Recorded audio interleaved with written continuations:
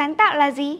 Đó có phải là những ý tưởng mới lạ hay là cách chúng ta nhìn nhận và giải quyết vấn đề một cách khác biệt? Trong tin tức tuần này, chúng ta hãy cùng khám phá những góc cạnh khác nhau của sự sáng tạo, từ thời sự đến những xu hướng văn hóa được giới trẻ yêu thích hiện nay.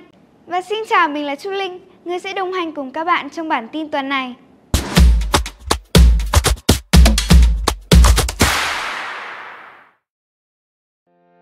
Trước khi đến với những thông tin chính của bản tin, hãy cùng chúng mình điểm qua xem tuần vừa rồi có gì thú vị nhé. Với quyết tâm xây dựng một làng nổ mới, bền vững và thịnh vượng, các hoạt động phục hồi đang được triển khai toàn diện. Trong đó, việc xây dựng mô hình làng an toàn sẽ không chỉ giúp người dân ổn định cuộc sống, mà còn tạo dựng một cộng đồng đoàn kết, tự lực, sẵn sàng đối mặt với mọi thử thách. Hãy cùng chờ đợi một làng nổ sắp được tái sinh nhé! Nghệ thuật không chỉ là để thưởng thức, mà còn là để sẻ chia. Đó là điều mà họa sĩ Lê Sa Long muốn gửi gắm qua bộ tranh Thương lắm đồng bào tôi, chỉ trong 5 ngày, họa sĩ đã hoàn thành 13 bức tranh đầy cảm xúc, mỗi nét vẽ như một lời chia sẻ, một lời động viên đến những người dân vùng lũ. Và hơn hết, số tranh bán được sẽ được họa sĩ góp vào hỗ trợ cho những đồng bào của các tỉnh đang bị ảnh hưởng bởi thiên tai. Trước tình hình bão lũ gây thiệt hại nghiêm trọng, Hà Nội đã quyết định dừng toàn bộ hoạt động bắn pháo hoa trong dịp kỷ niệm 70 năm ngày giải phóng thủ đô. Quyết định này thể hiện tinh thần tương thân tương ái, chia sẻ khó khăn cùng đồng bào cả nước. Một quyết định hợp lý thể hiện sự quan tâm của thành phố đến cộng đồng phải không nào? Ê ấy, đừng rời màn hình vội, bởi vì ngay sau đây sẽ là những tin chính của bản tin tuần này.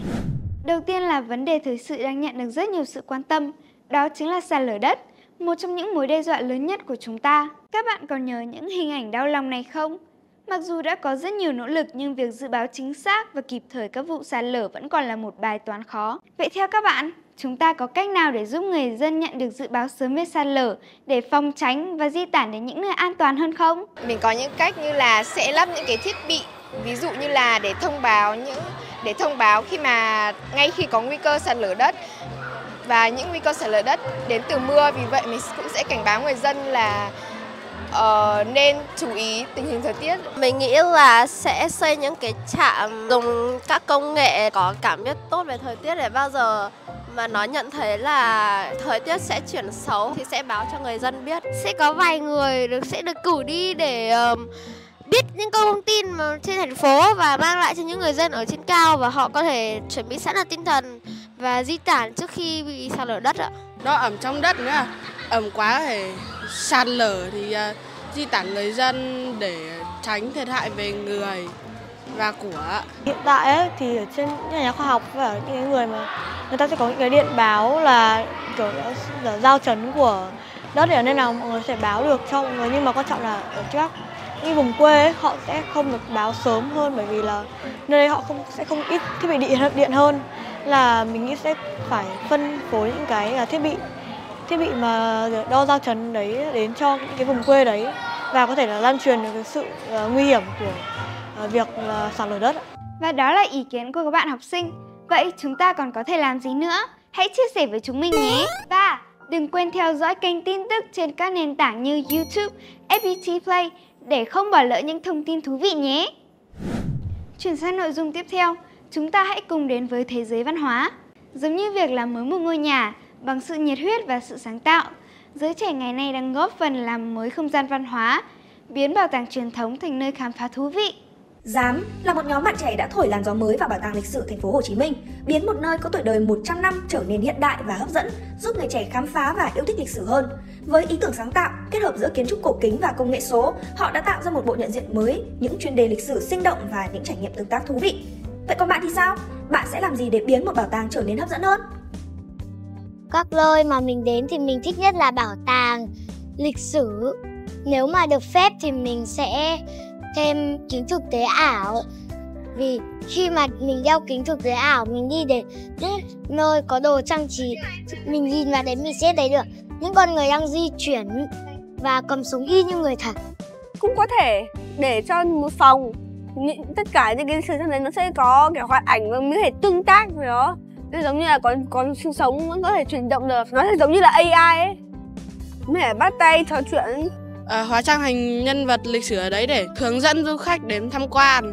Mình muốn uh, cho bảo tàng Quảng Ninh sẽ được những xương cá nó sẽ chuyển động được và có thể uh, biến thành một con cá AI nguyên hình ạ. Nếu mà được thì mình muốn làm về bảo tàng khủng long và trong bảo tàng đấy mình muốn thay đổi là sẽ có những con robot sẽ dẫn những hành khách tham quan và giải đáp các thắc mắc của hành khách và cũng có thêm một giả chiếu phim để nói về quá trình tiến hóa của khủng long ạ. Bảo tàng là cầu nối giữa quá khứ và hiện tại. Vậy chúng ta hãy cùng bảo vệ và phát huy giá trị văn hóa truyền thống, đồng thời tạo ra những trải nghiệm mới mẻ và hấp dẫn để bảo tàng luôn sống động và có ý nghĩa nhé. Sau những giây phút căng thẳng lên ý tưởng hay là một việc gì đó sau một ngày dài, đâu là cách giúp bạn cảm thấy thư giãn nhất? Tạm gác lại mọi lo âu, các bạn hãy cùng đắm mình vào thế giới âm thanh thú vị.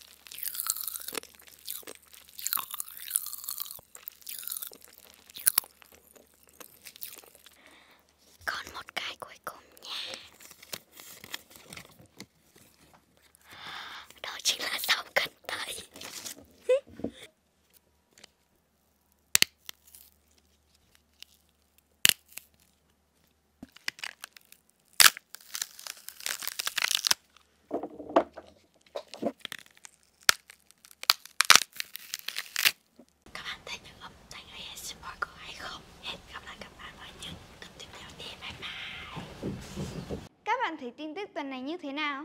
Hãy chia sẻ thêm cho chúng mình những thông tin mà bạn quan tâm nhé. Và bây giờ, xin chào và hẹn gặp lại!